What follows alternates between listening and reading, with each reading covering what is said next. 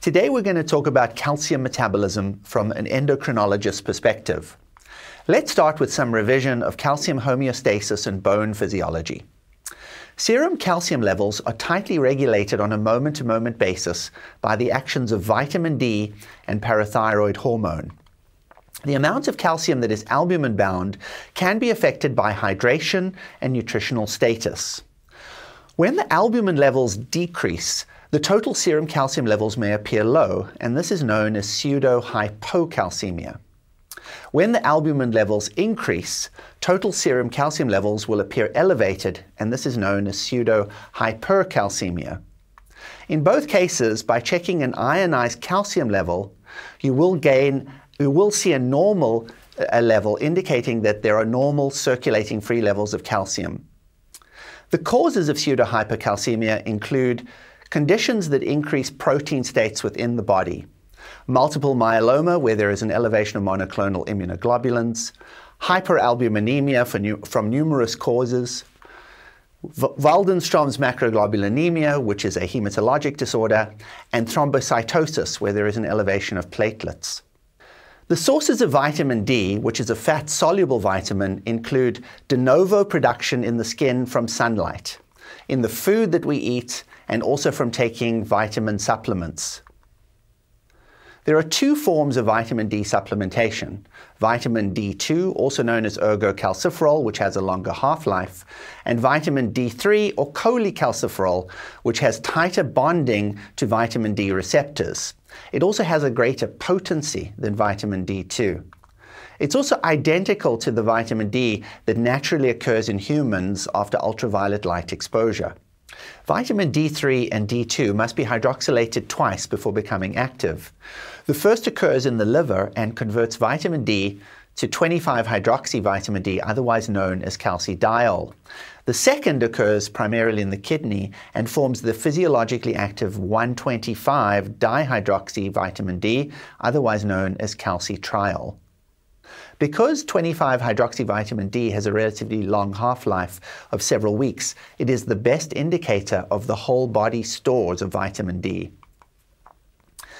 Active vitamin D acts on three organ systems to achieve and maintain normal serum calcium. Bone, intestine, and kidney. PTH is secreted to increase the calcium in the blood in response to even the slightest degree of hypocalcemia. PTH acts on the kidney to increase production of active vitamin D to promote calcium resorption in the distal convoluted tubule and the loop of Henle. PTH acts on bone to activate calcium and release it into the bloodstream. The clinical features of hypercalcemia occur when serum calcium levels are above the normal range, usually greater than 10.5 milligrams per deciliter.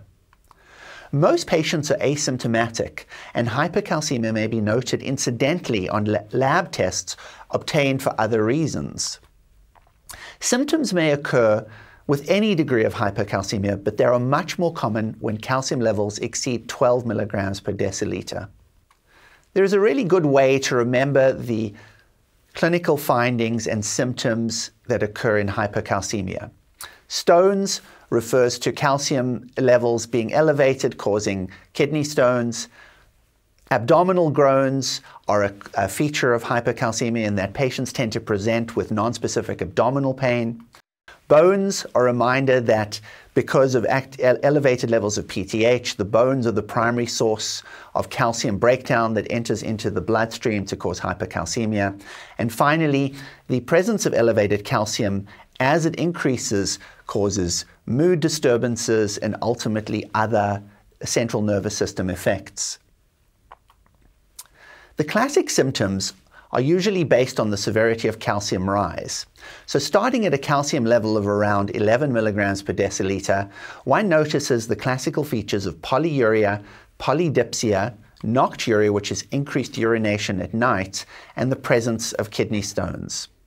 As the calcium levels increase above 11, patients may manifest anorexia, nausea, abdominal pain, constipation, There may also be effects on the kidneys. The creatinine may rise because elevations of calcium cause what we know as a calciuresis or an increased diuresis of water that the body loses, causing a pre-renal state and hence a rise in creatinine levels.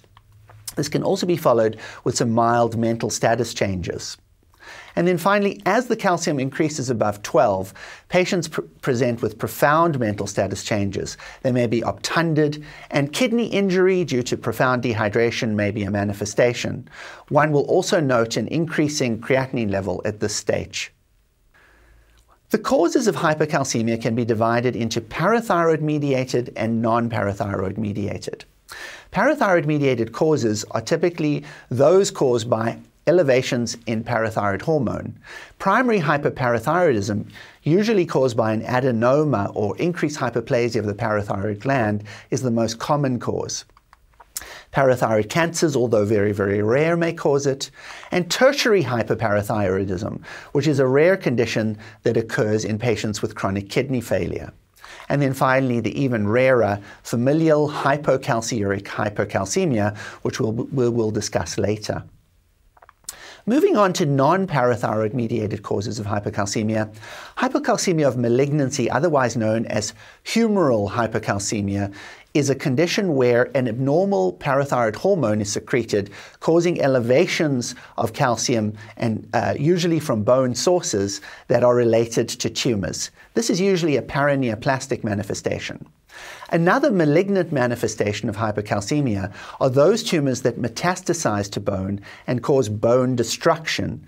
These can cause calcium release into the bloodstream and are mainly because of osteolysis of bone. Another common cause of non-parathyroid mediated hypercalcemia is vitamin D toxicity. These are individuals who take excessive levels of vitamin D, causing increased calcium absorption and hypercalcemia. It is also seen, but to a rarer degree, with high levels of vitamin A. Granulomatous diseases like sarcoidosis and TB also cause hypercalcemia, but these are usually mediated through vi vitamin D mechanisms that we'll talk about later. Rarer conditions like milk alkali syndrome, thyrotoxicosis, and prolonged immobilization can also cause elevations of serum calcium.